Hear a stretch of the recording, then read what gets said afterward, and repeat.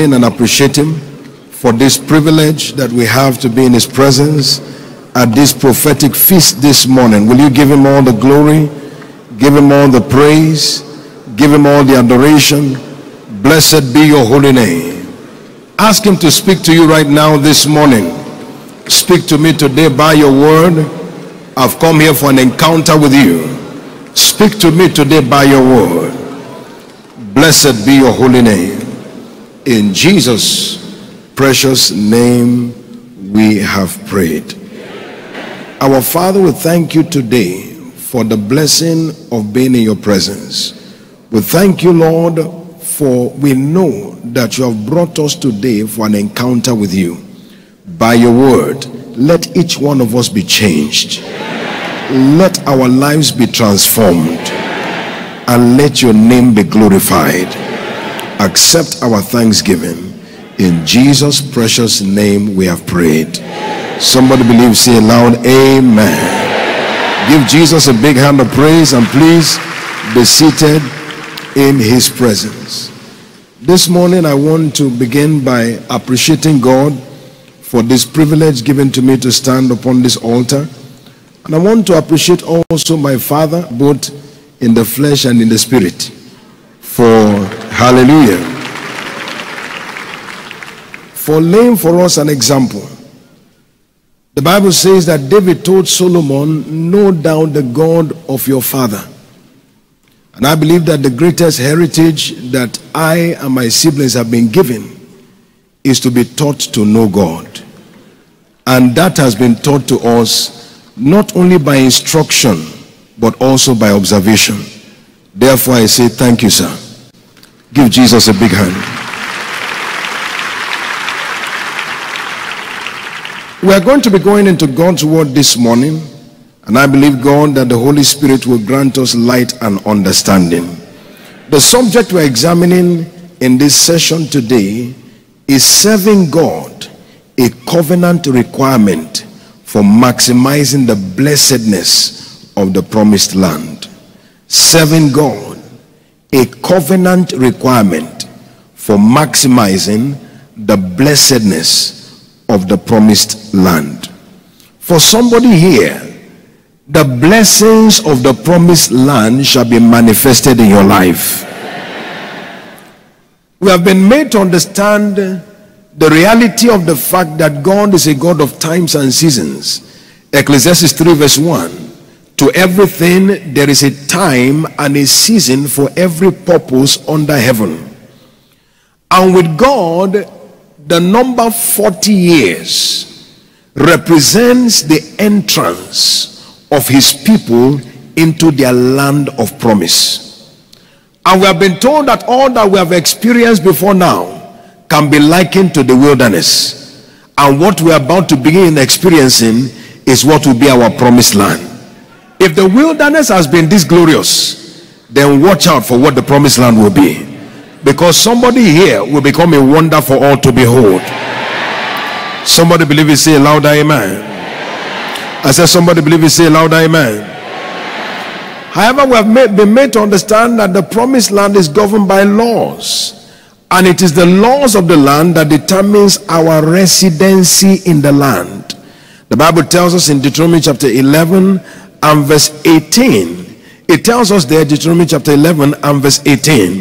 He said, Therefore, you will lay up these words in your heart and in your soul. If you are going to be in this land, you must look at what he has commanded. Verse 22 of the same scripture. The Bible tells us there, it says that if you shall diligently keep all these commandments, that is the day that you'll be able to have your residency settled in the promised land. The question, therefore, is what are the commandments that must be kept for your residency to be secure in the land of promise? In Deuteronomy chapter 11 and verse 12, the Bible tells us this, and look at this very closely. It tells us, it says, and the land which the Lord thy God cares for, The eyes of the Lord are always upon it from the beginning of the year even unto the end. Look at verse 13. It tells us there, it says, verse 13, and it shall come to pass if you hearken diligently to the commandments which I command thee this day. What are the commandments?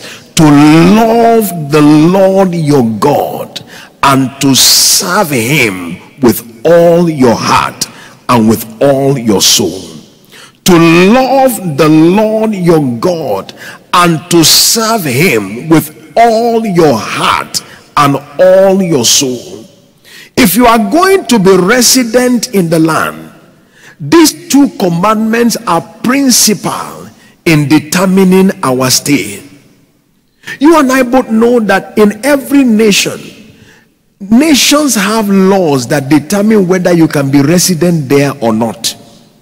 And when the law is violated, your residency is revoked.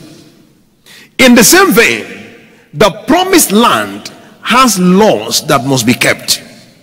And two of the principal laws are pointed to us in that scripture.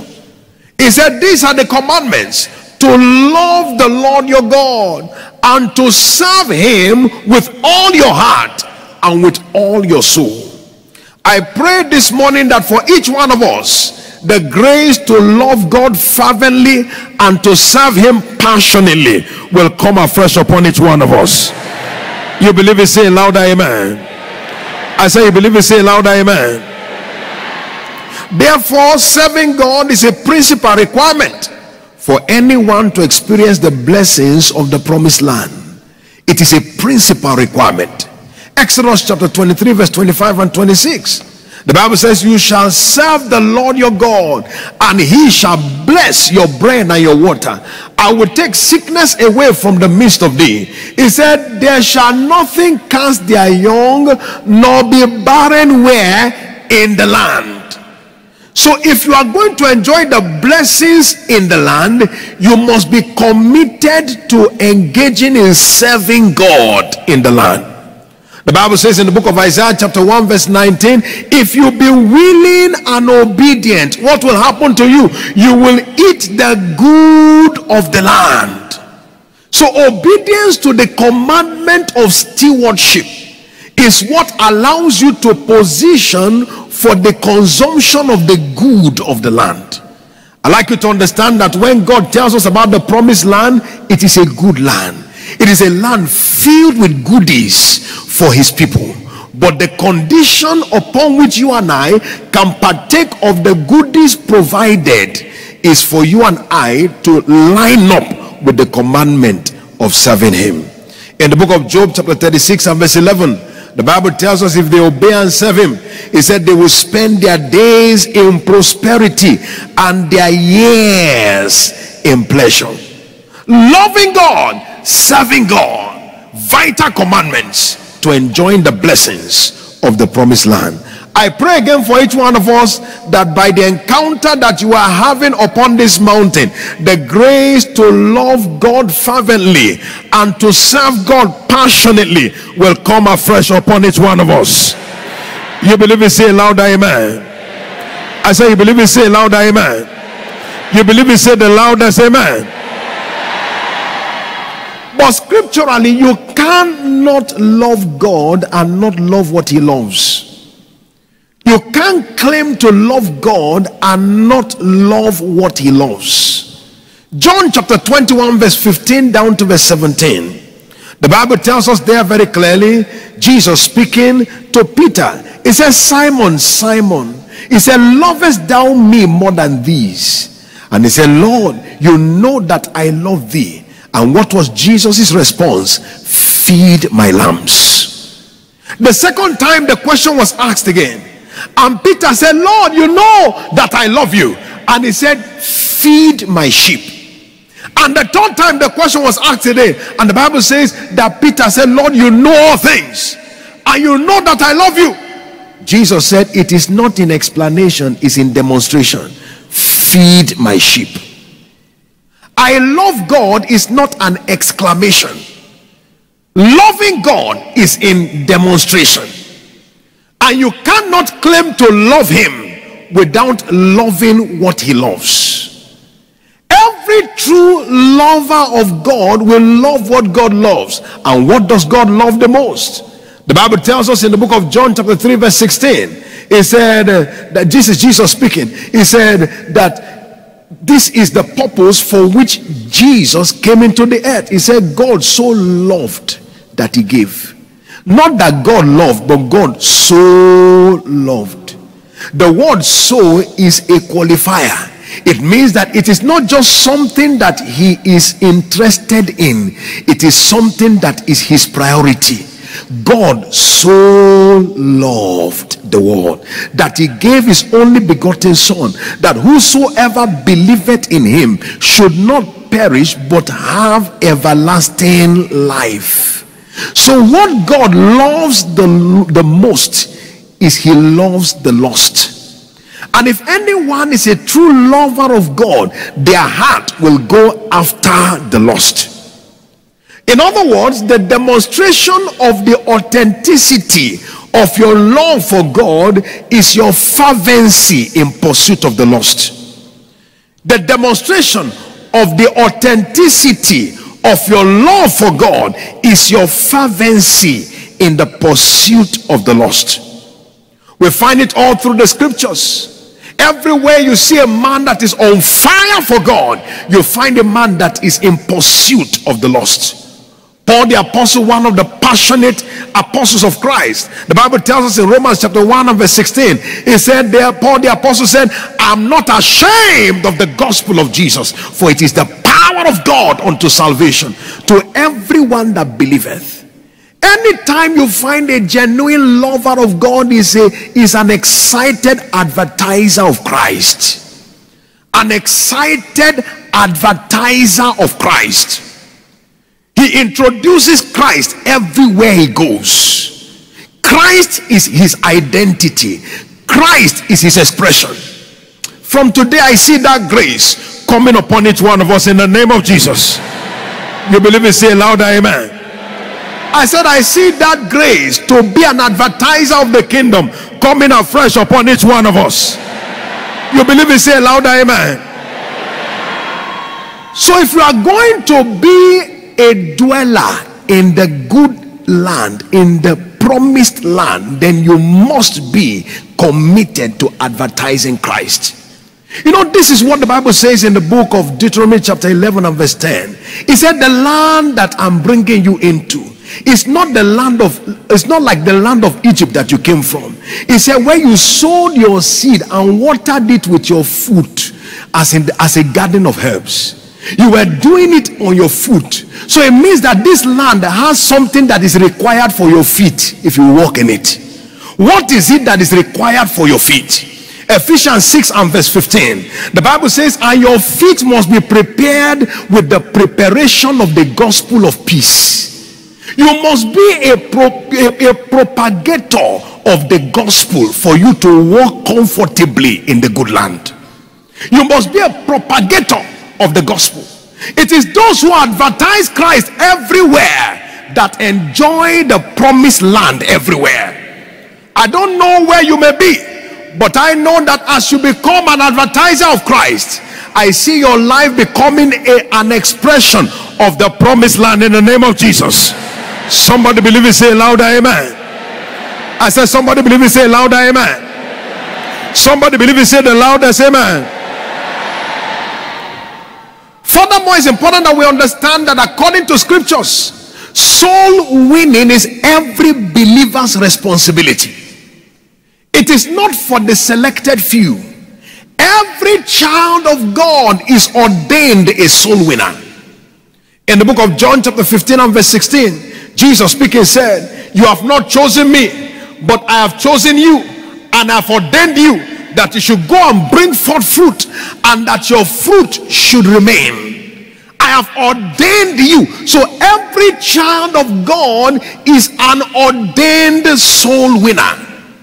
In Second Corinthians chapter 5, beginning from verse 17, the Bible tells us that if any man be in Christ, he's a new creature. All things are passed away, and behold, all things are become new. He said, and ye of God. He said, and whoso and whoso and all things are of God, and who who had reconciled himself unto, through Jesus Christ through and given unto us the ministry of reconciliation. And look at verse 19. To wit that God was in Christ reconciling the world unto himself, not imputing their trespasses unto them, and has committed unto us the word of reconciliation. He has given us the ministry and has given us the word of reconciliation. Somebody say, I don't know how to be a soul winner. I don't know what to say. That's not true. The word of God says He has given you the word. There is something in your mouth that can be utilized as an instrument of harvest. He has given unto us the word of reconciliation. So you don't need to be an apostle, a prophet, a pastor, a teacher, an evangelist to be a soul winner. Every child of God is ordained by God as a soul winner. Shout hallelujah. The moment you are a new creature, you are ordained by God to be a soul winner. You recall the incident in the book of John, chapter 4, and verse 29 and verse 39. We are told there about the Samaritan woman. One encounter with Christ.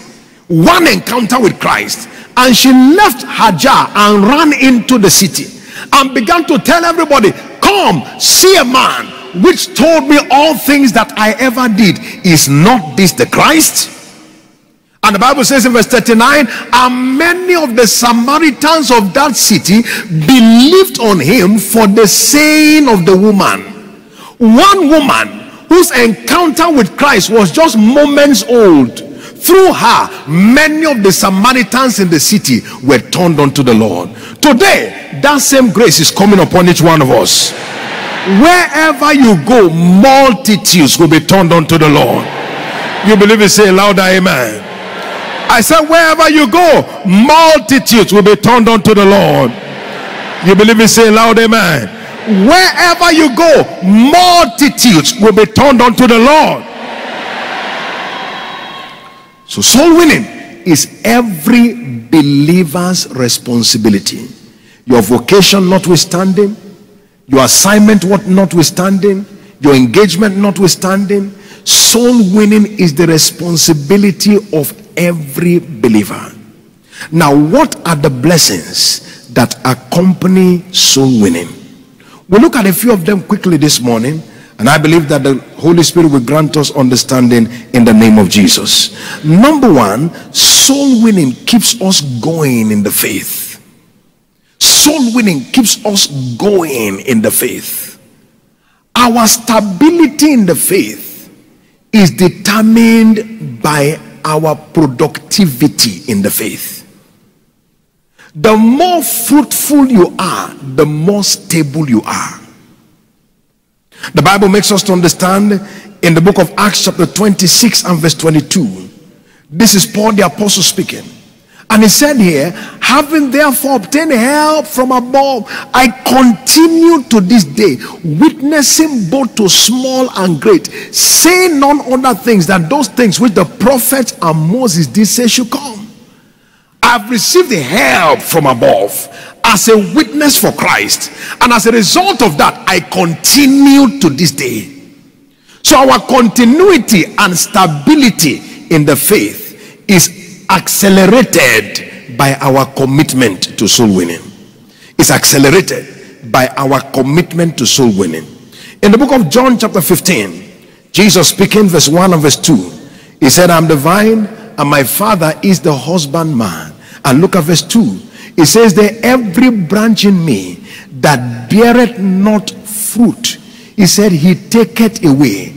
And every branch that beareth fruit, he purged it that it may bring forth much more fruit. So, for you and I, if we are going to remain stable in the faith, growing in the faith, we must be committed to being fruitful in the kingdom. Our fruitfulness determines our usefulness, and our usefulness determines our stability. My prayer for each one of us is that from this day onward, none of us will ever miss out on being fruitful again in the name of Jesus. You believe it? Say louder, amen. In Luke chapter 13, verse 6 down to verse 9, the Bible tells us this parable of Jesus. He says he spake a parable saying, A certain man had a fig tree planted in his vineyard, and he came and sought fruit thereon and found none. He says, Therefore he said to the keeper or the dresser, Cut it down. Why cumber the ground? I've come here these three years. I've not seen any fruit here. Cut it down. And the dresser said, Leave it for one more year. Let me dung it and let us see if it produces. If it produces well, if not, then cut it down. In other words, God's expectation is that each one of us are productive and fruitful in the faith. And that is what determines our ability to be stable. My prayer for each one of us is that from this day onward, the grace to remain fruitful in the kingdom comes afresh upon you in the name of Jesus. I said that grace comes afresh upon you in the name of Jesus. That grace comes afresh upon you in the name of Jesus. That grace comes afresh upon you in the name of Jesus. For stability. You notice that when you are an advertiser of Christ, you are careful with your lifestyle. You are careful with your lifestyle. Your lifestyle is carefully protected from anything that is contrary to the testimony of Christ. That's why you discover that anytime you see anybody who goes wild for Christ, they can't live wild in life. They live careful lives. A man representing Christ will naturally live a life that represents Christ. When you go around announcing Christ, you cannot live a life contrary to Christ. Check it when you see a man who is living wildly outside, is a man who is not advertising Christ. Every true Christ advertiser will naturally live a life worthy of Christ. My prayer for each one of us today is that the grace to become fervent in advertising Christ will come afresh upon each one of us. Somebody believe it, say loud amen. I said, somebody believe it, say loud amen. Somebody believe it, say loud amen. A number of years ago, went out soul winning and came across this new convert. The man was a major drunkard. Everybody knew him. According to his testimony, he said once it gets to 6 7 p.m., he's staggering on the street. He was known everywhere, but then gave his life to Christ. And after surrendering to Christ, went wild soul winning. Before we knew it in the same community, they were calling him Pastor, Pastor. Now, the place where they are calling him Pastor, he can't go to beer parlor there. So, alcoholism terminated. Why? Because he was a Christ advertiser.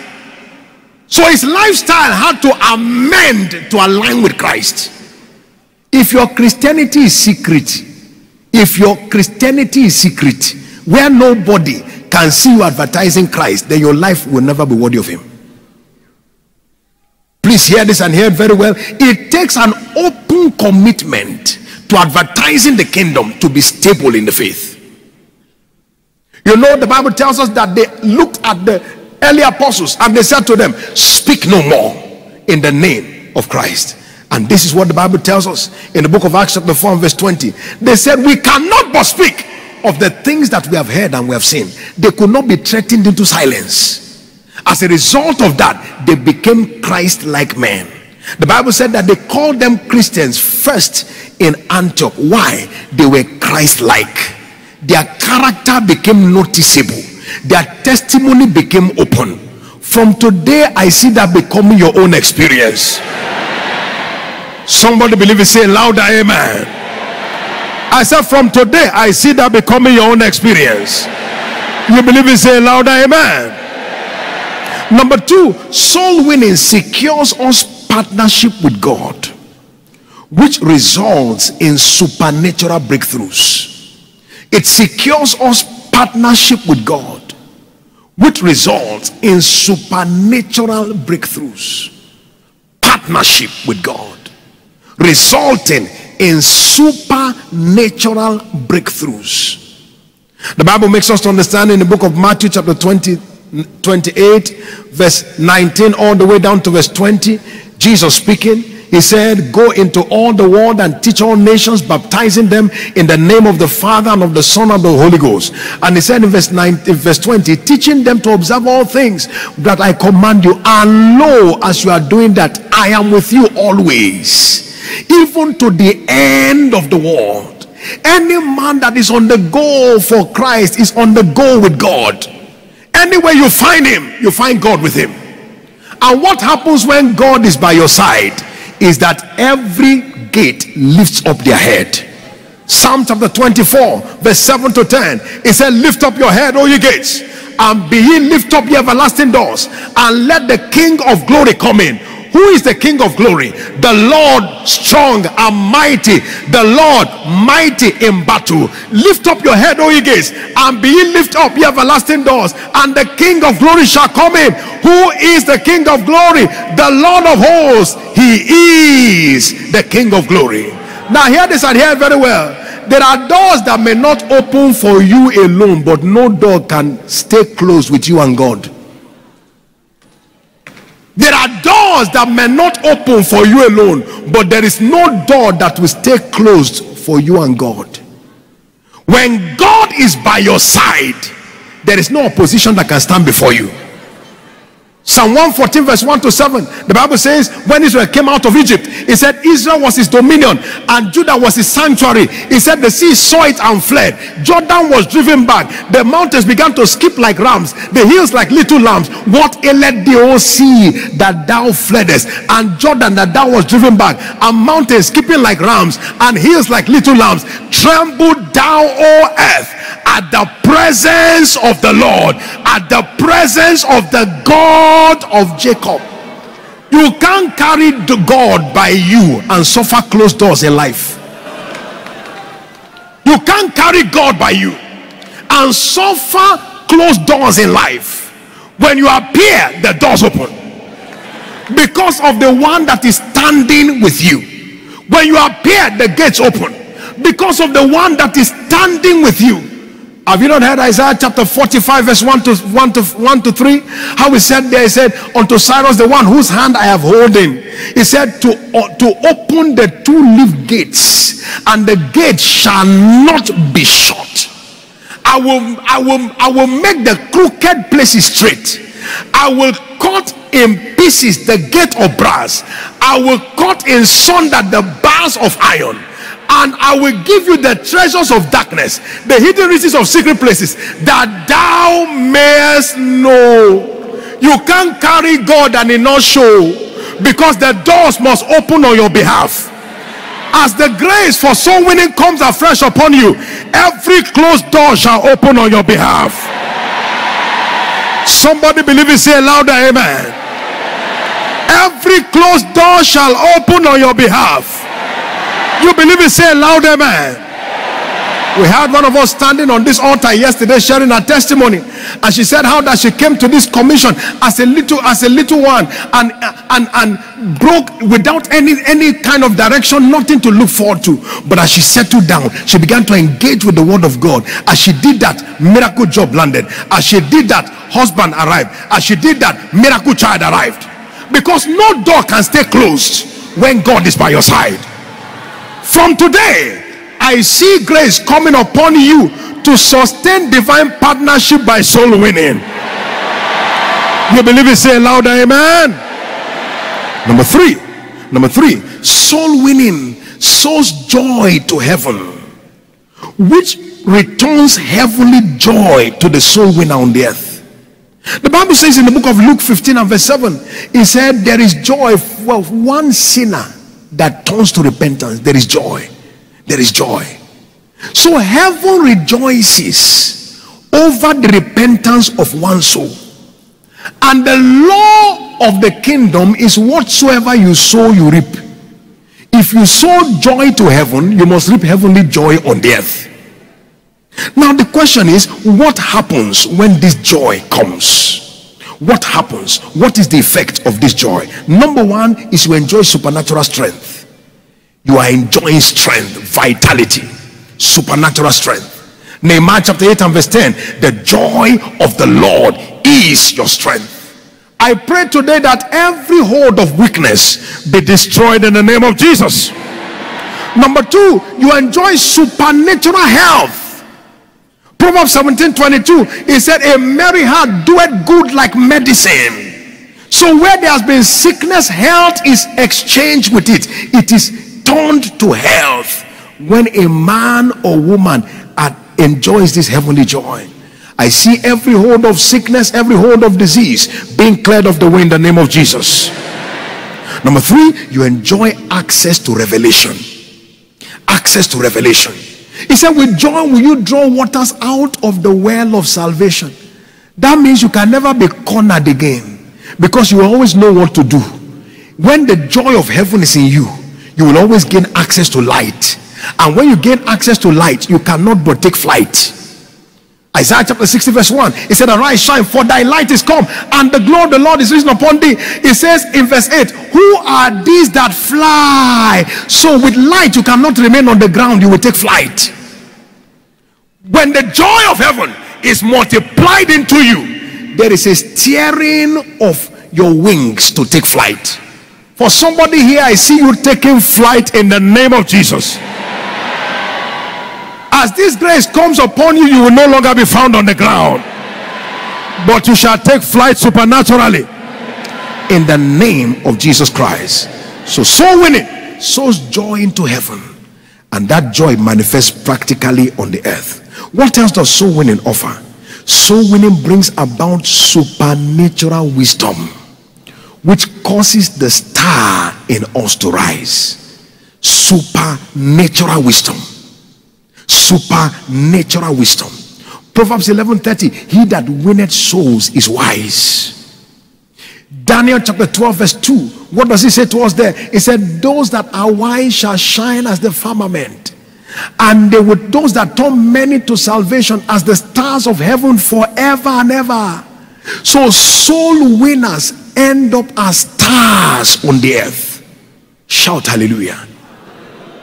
I say shout hallelujah they end up as stars on the earth. Can I remind us of the testimony of God's servant, our father? He said at the age of 19, he went to a village on a teaching relief job. And when he arrived there, he asked the question, Is there any church here? They said, There's no church. And he said, Lord, may I not leave this village the way I met it.